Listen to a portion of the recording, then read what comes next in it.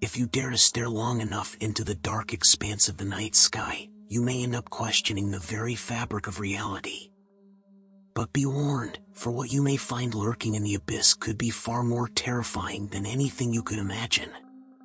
One such eerie discovery was made by the YouTuber Arte Morbid, who captured a video of an inexplicable phenomenon in Valle Hermoso, Mexico at the witching hour of 2.30 a.m. As the footage reveals, a strange, ominous blue sphere hovers motionlessly in the air, defying all laws of physics. Many have speculated as to the origins of this otherworldly object, with some suggesting that it is a mere drone. But as the video shows, this is no ordinary unmanned aircraft. Its movements are too fluid, too ethereal, too alien to be of this world. Could it be an unidentified flying object, a harbinger of something sinister? Or is it merely a glimpse into a realm beyond our understanding?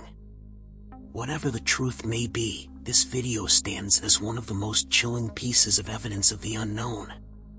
Dare you watch it and risk delving deeper into the abyss?